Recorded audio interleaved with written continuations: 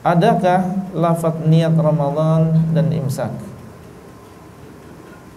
Kalau yang dimaksud adalah niat uh, untuk melakukan puasa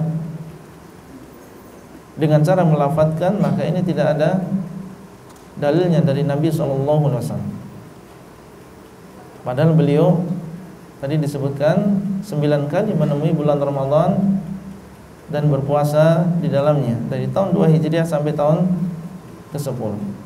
Seandainya disyariatkan mengucapkan lafaz niat berpuasa tentunya sudah dinukil untuk kita.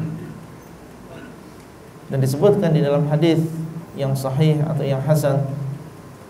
Tapi ternyata tidak ada satupun hadis yang menunjukkan bahwasanya beliau sallallahu alaihi wasallam melafatkan niat puasa dengan mengatakan nawaitu shauma ghadin dan seterusnya. Ya.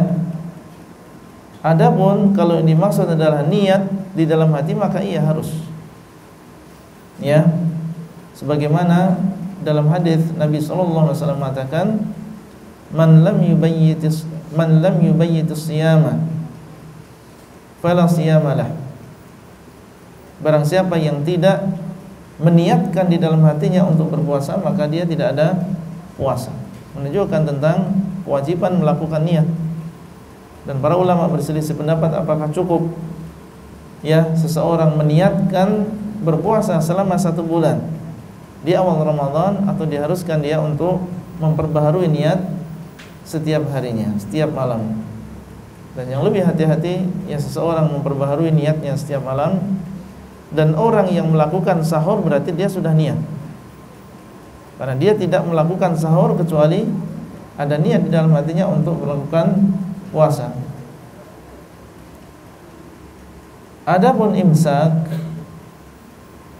yaitu menahan diri dari e, makan dan juga minum kurang lebih 10 menit ya sebelum datangnya azan subuh maka ini juga tidak ada dalil yang demikian ya diperbolehkan seseorang makan dan juga minum sampai datangnya waktu subuh waktu fajar oleh karena itu dalam Al-Quran Allah SWT mengatakan kulu washrabu hatta yatabayyana lakumul khaytul abyadu minal khaytil aswadi minal fajr. Hendaklah kalian makan dan juga minum sampai jelas bagi kalian ya benang putih dengan benang, benang yang yang hitam minal fajr dari waktu subuh.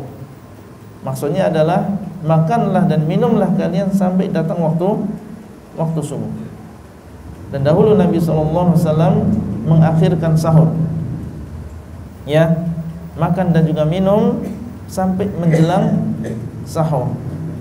Ya, sampai menjelang sahur. Disebutkan dalam hadis jaraknya ya antara terakhir kali beliau makan dan juga minum sampai komat itu bacaan orang yang membaca 50 ayat.